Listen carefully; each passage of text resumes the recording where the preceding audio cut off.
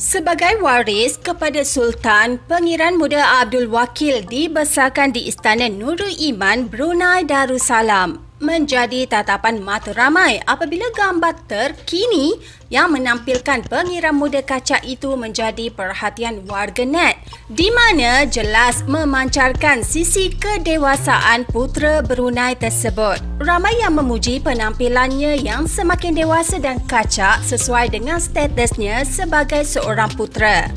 Jika korang masih baru di channel kami, jom ramai tekan subscribe dan like sebagai tanda sokongan.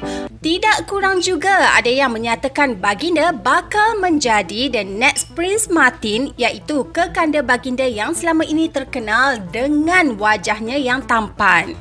Apa yang jelas sudah semestinya rupa paras yang dimiliki baginda datang dari ayahanda dan juga bonda. Menganggap kelahiran wakil sebagai satu anugerah Azrinas juga menyifatkan putera raja itu sebagai seorang anak yang manja. Kini pada usia 16 tahun, Duli yang teramat mulia Paduka Seri Pengiran Muda Abdul Wakil Ibni ke bawah Duli yang Maha Mulia Paduka Seri Baginda Sultan Haji Hassanal Bolkiah Muizzaddin Waudaula sedang melanjutkan pengajian peringkat menengah di Sekolah Antarabangsa Jerudong. Media sosial di Malaysia rata-ratanya kecoh memuji wajah tampan kerabat di Raja Brunei itu saling tak ubah seperti bintang Korea.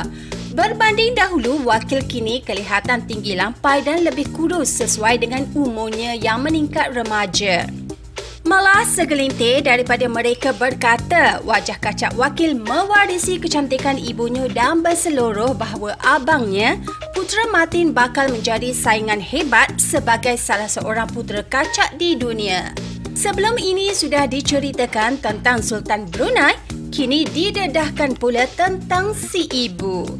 Azrinas Mazhar Hakim dilahirkan pada 28 September 1979 merupakan bekas isteri kepada Sultan Brunei. Dengan gelaran ketika itu Duli yang teramat mulia pengiran isteri Azrinas Mazhar. Beliau merupakan bekas wartawan TV3 merupakan jurusan diploma penyiaran di Institut Media Integratif Malaysia MIIM pada 1997 dan bekerja sebagai eksekutif wartawan penyiaran TV3 pada 1999. Beliau muncul dalam Buletin Pagi TV3, Berita Terkini dan Buletin 130. Beliau terpilih sebagai wartawan harapan TV3 pada tahun 2000 selain menerima anugerah alumni MIIM 2002. Beliau keluar dari TV3 pada Mei 2005. Beliau merupakan anak kepada Hakim Mazhar Muhammad Johar dan ibunya Fauziah Abdullah Mansur.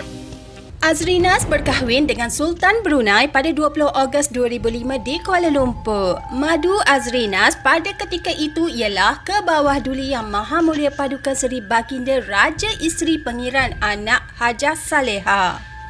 Pada 16 Jun 2010, Sultan Hassan al-Bolkiah menceraikan isteri keduanya Azrinas Mazahar Hakim dengan talak satu.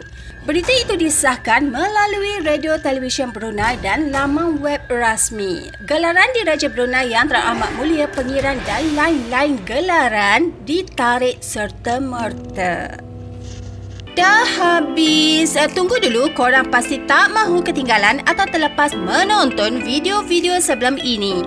Video Fauziah Latif yang mengakui pasang niat untuk berhijab tu dah lebih 30,000 views. So korang jangan lupa tonton dan tambahkan views ya.